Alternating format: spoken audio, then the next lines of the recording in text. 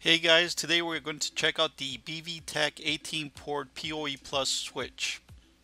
This is a 16 port 10 100 PoE Plus switch and has two ports that are gigabit and can be used as uplink ports.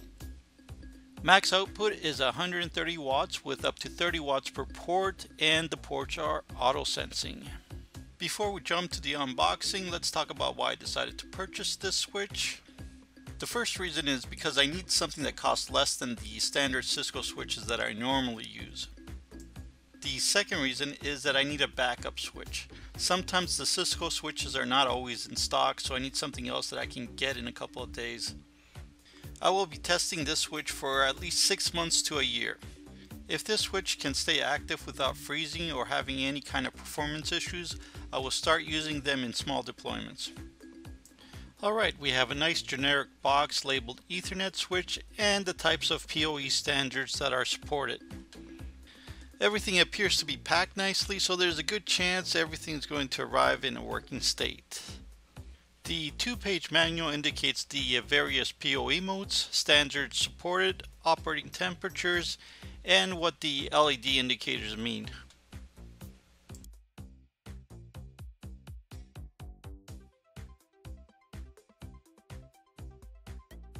The accessories pack includes the uh, plastic feed if you want to use this as a desktop switch and it also includes the screws to mount the brackets. We have the left and right brackets. They feel rough like sandpaper texture and the edges feel a little sharp.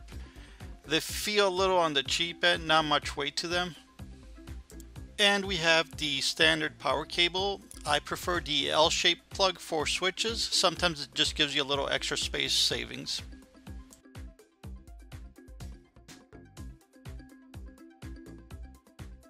Alright, and we finally have the switch. It's nicely packed in styrofoam and a protective layer of plastic.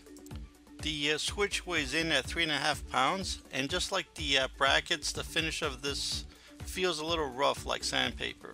I would prefer if the finish was a little bit smoother, but it's not going to be a deal breaker. The back of the unit shows vent holes for a fan, but this unit is passively cooled. There are no fans inside.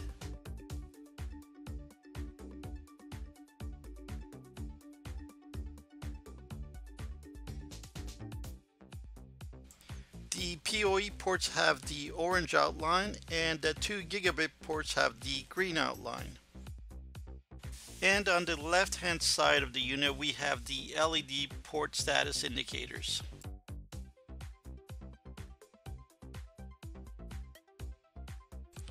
Overall the uh, switch is nicely uh, designed and has a good color scheme.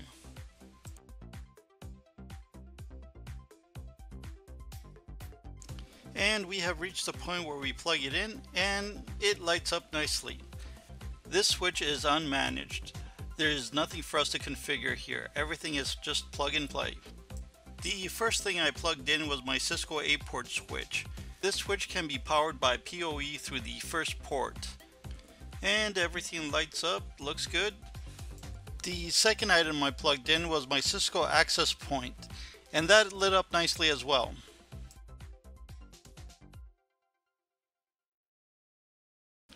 The other items I wanted to check were the uh, Cisco 504G. This is a very popular PoE phone and this lit up nicely as well. And the other phone I wanted to test was an old Nortel phone. You can still find these as rebranded Avaya phones. Also very popular and it also lit up nicely.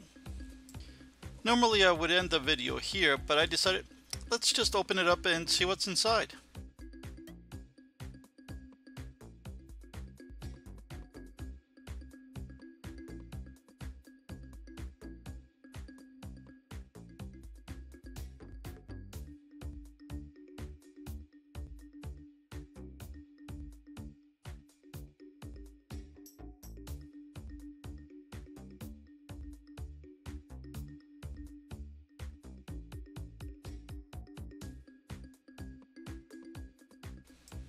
I'm not sure of the quality components here, but everything looks like it's laid out nicely. As I mentioned before, there is no fan in this unit. I believe the 28 port switches do have fans and may be a little noisy. I specifically chose this one because it didn't have a fan.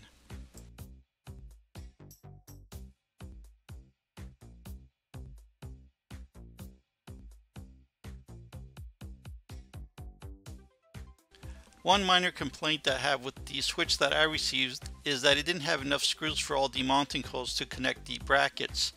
It came with 4 but you actually need 8. I was lucky that I had some leftover Supermicro screws uh, with the right threading so I was actually able to connect all the brackets properly.